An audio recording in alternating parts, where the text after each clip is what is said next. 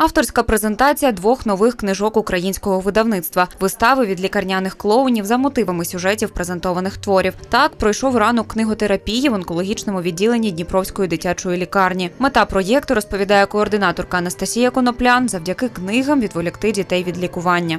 У нас є декілька напрямків нашої роботи. Перше, це те, що ми наповнюємо бібліотеки або ігрові кімнати е, книжечками, новими книжечками е, дитячими. 190 книг сьогодні передали.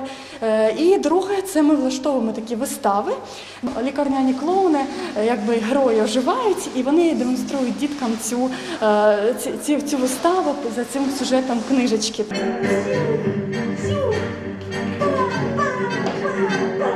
Пані Юлія, мама 16-річного пацієнта, що 4 місяці лікується в онковідділенні. Розповідає, через карантин до дітей рідко приїжджають. Їм часто нудно. Син каже Юлія у захваті від клоунів та вистав. А мама радіє, адже розваги з книгами краще за гаджети.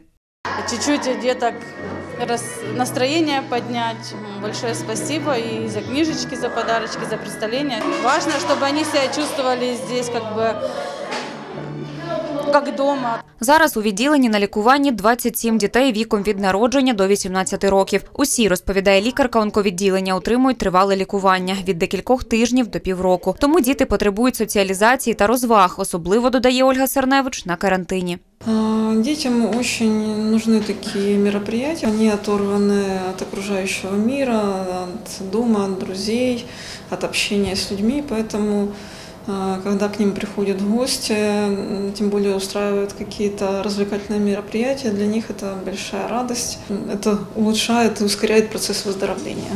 Після закінчення вистав діти отримали книжки з підписами авторів. Волонтери поповнили дитячу бібліотеку на 190 книжок. Команда ранкової книготерапії 8 вересня завітає у дитяче онковідділення Миколаєва. З 14 по 16 вересня проводитиме книготерапію для пацієнтів київських лікарень. Юлія Безбородько, Павло Черненко. Новини на Суспільному. Дніпро.